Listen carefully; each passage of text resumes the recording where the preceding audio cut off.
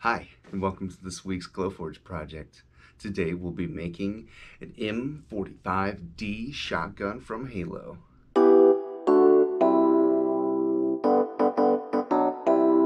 Alright, so here we are on Thingiverse. You want to make sure that you have a proper full-size file. And here is what I'm making, the M45D shotgun. You want to make sure it has a full-size file. Here's what it looks like. You'll want to come down to download files and download the full-size file. Click download. Then you'll head over to Slicer for Fusion 360. Click import. Find the item that you are trying to create. Now we will head over to our settings. I made a custom set I called it Glowforge. You can click here to edit those custom settings. So I have it a little smaller this time. There's the thickness of my material. Now we want to make sure we get the dimensions correct. So I went over to Halo Wikipedia and I looked up exactly how big the M45D shotgun is. It has a length of 44 inches. So what I'll do is, since it is proportionate, I have that on. I'll put it 44 inches and it will accurately size it to the close dimensions of the full size. So now we will determine our slice technique. We'll go to stack slices and in the far right you'll see a window pop up of how many sheets it will take and parts. We will want to go to slice direction and angle it into a more appropriate dimension so we can get the best overall resolution. This is how it will be made. Cool diagram to watch and help put it together. So down here it says we have parts, 169 pieces. And last we will go over it again, check it to make sure everything looks good. All 15 sheets, they look good.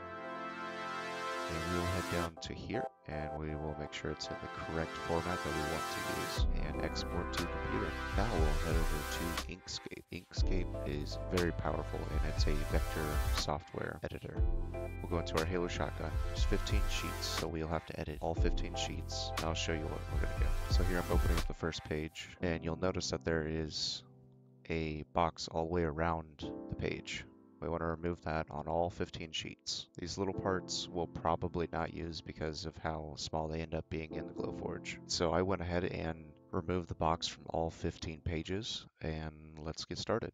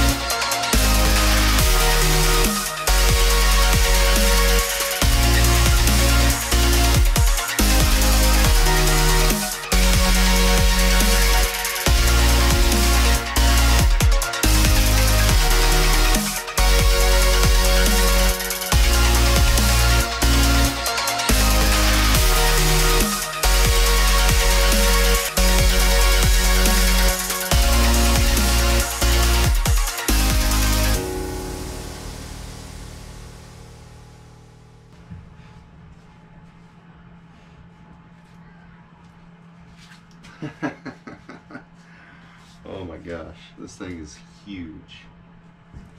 So this is the M45D shotgun from Halo. I made it as close as I could to life size. It's 44 inches long. It was about 2.75 hours of cutting and about three and a half hours of gluing. Stayed until like 1.30 in the morning. But this is freaking awesome. It even has like a tactical flashlight on the side of it. It was a 169 pieces, I think it turned out really well. Thanks for watching. Make sure to like and subscribe. And if you haven't checked out my Halo Assault Rifle, you should check that out if you like this video. See you later.